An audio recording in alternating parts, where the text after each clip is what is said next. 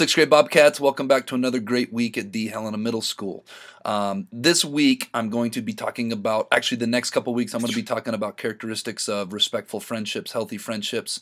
Um, last year, I did a school wide poll as one of the Bob, uh, or the Jelly Bean Question of the Weeks, and I got input from all of our student bodies because I wanted 11 to 14 year old input on what makes a good friendship, what characteristics are you looking for. And so I compiled the top 20 answers, and I'm going to talk a little bit more in depth about those today. Um, so many times we fail to realize that being a friend is an art, it's a skill. And um, instead of talking about how to be respectful, maybe we need to spend more time talking about characteristics of how to improve your friendships because friendships are so important, relationships are so important. We are human beings. We strive for connectedness. Um, we strive to have healthy relationships. And so I'm going to give you guys the next couple weeks the 20 top skills for that. So let's get rocking and rolling on this go out and make it a great week at the Helena Middle School. As I mentioned, this week's Bob lesson is going to be characteristics of healthy friendships. But first, let's be our best this week at HMS. Let's be safe, let's be responsible, let's be respectful, and let's be a learner. Oh, and if you're in Mr. Kepler's advisor, let's be an artiste. All right, well, I compiled you guys' list, and thank you guys for doing that. This was so awesome. Um, I was able to compile the ideas that you left me in the Bob box in the counseling office, and some of you had some outstanding comments there, um, and I was able to compile the top 20, and I added a few in of my own, and we came up with a list, and for the next few weeks, we're going to be talking a little bit more in depth about these friendship characteristics. So the first one, and this was probably the one that I saw the most. Of course, it's tr- trustworthiness or or can you be trusted? Trustworthiness is the ability to be relied on for something important. This could be something that is secretive, private, or sensitive in nature. A lot of times, if you have friends, you want to confide in them, but you're not going to confide in them eh, if you can't trust that they are going to keep that between you and them if you can't be trusted as a friend, you, may as well be a stranger. That's probably the number one characteristic of friendship that I found was so many of you put trust, trustworthiness down. Trustworthiness was probably the most popular answer in the Bob box I received, meaning it's it's pretty easy to say it's a it's a prerequisite for virtually every person in this school when when they're looking at friendship. And the other thing about trustworthiness that I think is very important to think about is it has to be earned over time. When you meet somebody new, maybe for some of you sixth graders, when you uh, met somebody from a different school for the first time and you had lunch with them at their table, it took a while. You didn't really know who they were. Um, it takes time to earn trustworthiness. And and that that takes time to develop and it and it happens over time it's not going to ho- happen overnight you have to prove yourself over time that hey i'm somebody that can be trusted and conversely once that trust is lost it's very difficult to get it back okay so trustworthiness was probably the number one answer when i was asking about characteristics for friendship let's go on to number 2 honesty being honest is a huge component to friendships and can be tricky at times, and I'm going to talk about that here in a minute. Honesty is also a huge component in building trustworthiness. Okay, in order to be and to build trust and friendships, you have to be honest with those around you, um, especially with your friends. If you can't be honest with your friends, then, you know, if you think about it, who can you be honest with? Sometimes being honest is difficult because you don't want to hurt a friend's feelings. And this is probably the trickiest thing when I'm working with kids, when I'm hearing stories, is a lot of kids have problems navigating um, what can be kind of a pitfall in honest. We, we want to be honest with our friends, and our friends want us to be honest with them. But what do we do when when the the truth is isn't a glamorous or a an easy thing to communicate. Um, and I'm going to give you guys an example here. Um, I recommend using a sandwich or an Oreo statement. Some of you call it.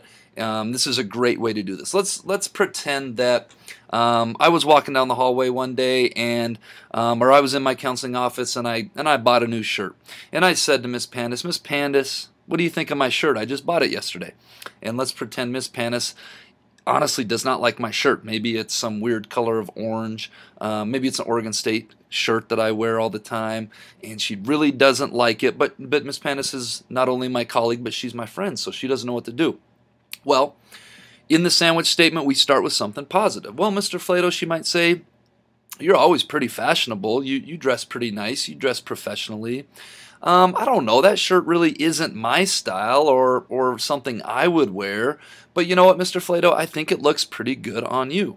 Well, that would be an example of how she could be honest with me, but she could she could also do it without hurting my feelings. Okay, so when we got to be honest with friends, and sometimes it's not an easy thing to say, think about using a sandwich or an Oreo statement. You start with something positive, okay, and then you kind of give them the, the ugly truth or whatever it is that's tough, and then you finish it off with something positive. So, little tip there about honesty.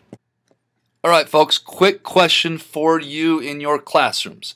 I have here a glass of water. And let's pretend that this glass of water is the glass holds 16 ounces. Okay. Now let's also pretend that this glass has 8 ounces of water in it. Okay.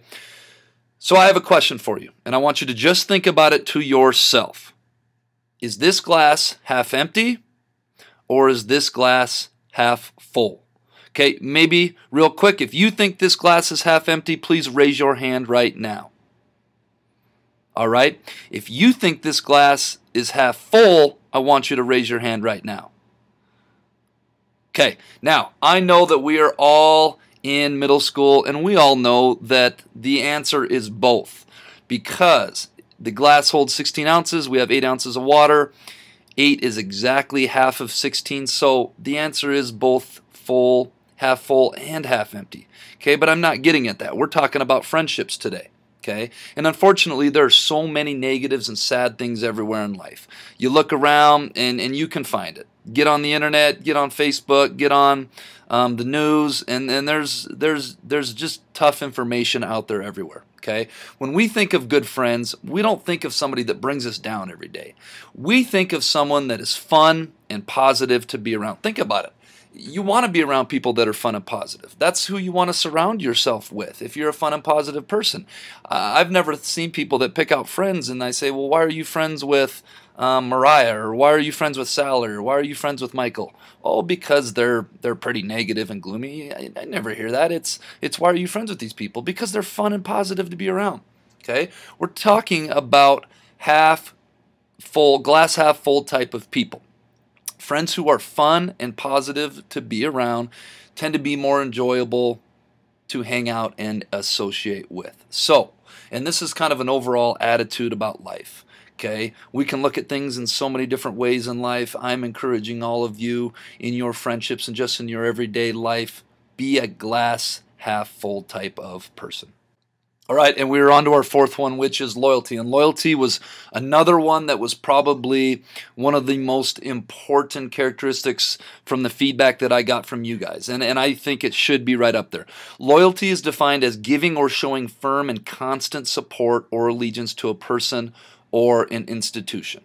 Okay? When someone is loyal, it helps build trustworthiness. And remember, trustworthiness was probably the number one answer that I got from you guys.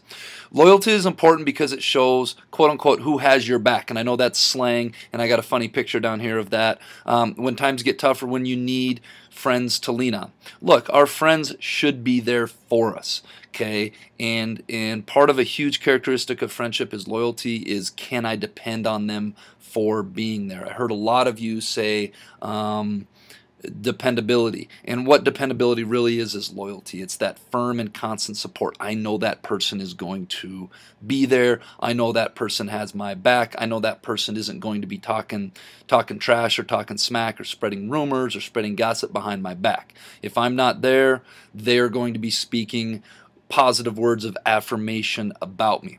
And I have a couple little pictures down here that I thought were cool. We'll start with the one on the left. Loyalty isn't gray. We're talking about gray. We're not talking about color. We're talking about a metaphor. We're not talking somewhere in the middle. The middle.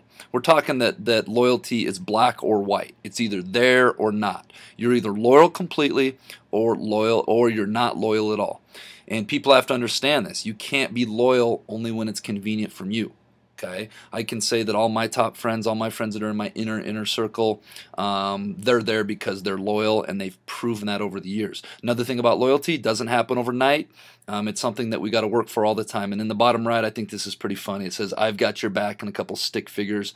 Um, thank you to Mr. Kepler's art class two, their advisor that graded my last stick figures as a C minus. I will take that all day long to the bank. Thank you, Mr. Kepler's advisor.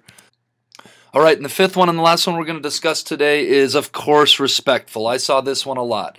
Um, top friendship characteristics, a lot of people put they have to be respectful. And this shouldn't come as a shock to anyone. It's one of our universals here at HMS and for a good reason. Um, when I talk about being respectful, I, I think it's my favorite and most important in my eyes. They're all important, but I think being respectful is the most important universal. Um, because no matter who you come in contact with in life, no matter who you associate with in life, you have to be respectful to people. If you're not respectful, you're not going to get too far in life. And healthy friendships, of course, fit into this category. Healthy friendships are built on people being respectful to one another. If you're disrespectful to your friends, you may not have those friends for very long. Um, if you're disrespectful in general, you may find it challenging to find people who want to be friends with you. Okay, so being respectful is something that we should shoot for all across the board to every person we come in contact with, whether we like them or not. And we have to be extra respectful to those people that, that are our friends, or we might not have them for long. This week's Jelly Bean Question of the Week winners were this one must have been easy. I had a lot of answers, and I have a lot of answers with no names on them or first names, last initial. I can't use that, folks. Get your full name on there. Except for Daniels, Jason Mandy, Emily Hines, Eva Santos, and Kylie May. Great job, everyone. This week's Jellybean question of the week is I'm tall at the beginning of my life and short at the end. What am I? And this is not Benjamin Button for those of you that have seen that movie. All right, sixth grade Bobcats, let's go out and make it a great week.